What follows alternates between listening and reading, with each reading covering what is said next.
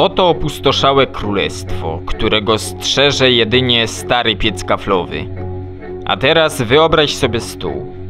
Stoi przy ścianie po lewej stronie. I krzesła. Widzisz to? W rogu jest regał, a na nim dobra książka. Dużo dobrych książek. Herbert, Mickiewicz, Mackiewicz, Piasecki, Baczyński, Tolkien, Kamiński, Rodziewiczówna.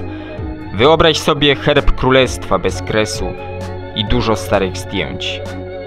I stertę gier planszowych. A na stole herbatę. Ciepłą, bezcenną. Bo w królestwie nie ma cennika. Każdy daje tyle, ile chce. A teraz wyobraź sobie siebie lub kogoś innego. Ten ktoś zaraz usiądzie, napije się herbaty. Nie ma takiej w Polsce. Przywieźliśmy ją z nad. Poczyta Herberta lub coś zupełnie innego, a jeśli nie będzie miał ochoty na lekturę, to zagra z kimś w grę. Wyobraź sobie, że to wszystko zależy od ciebie. Jeśli nie ty, królestwo będzie wciąż puste.